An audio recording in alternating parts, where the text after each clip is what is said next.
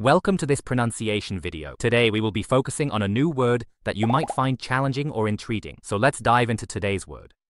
Kainin, which means, Dismissal in Japanese. let's say it all together. Kainin. Kainin. Kainin. One more time. Kainin. Kainin. Kainin.